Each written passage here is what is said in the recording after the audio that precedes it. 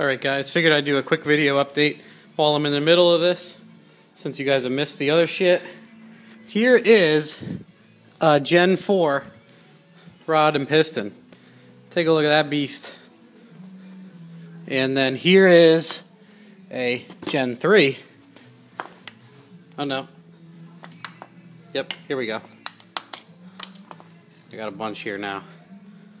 There's a difference in the thickness of the rod on both sides. And uh, my Gen 3s are all a little bendy.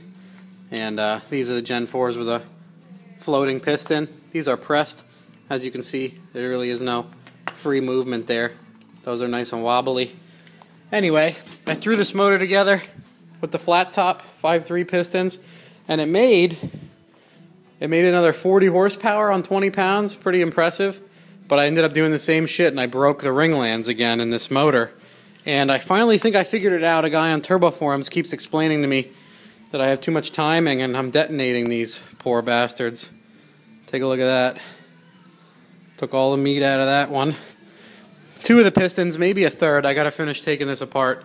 I think number six is busted also. But take a look at that. Ringland be gone.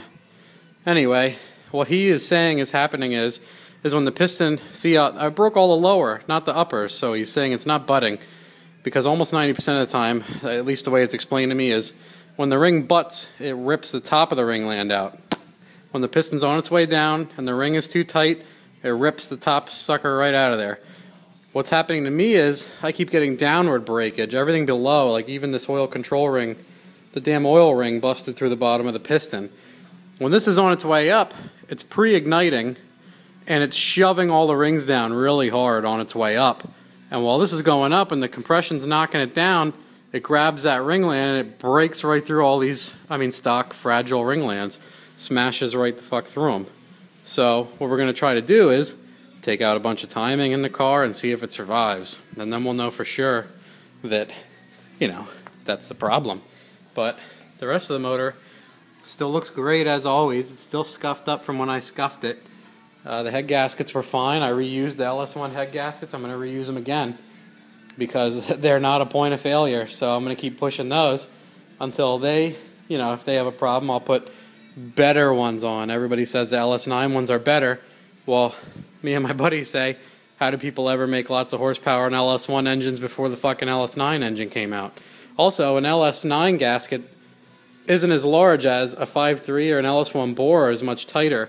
So an LS9 gasket's going to be out farther, and it actually gives you less surface area on the gasket. So I, I mean, I'm a practical person. I question how how much better can they be just because it's more layers of steel.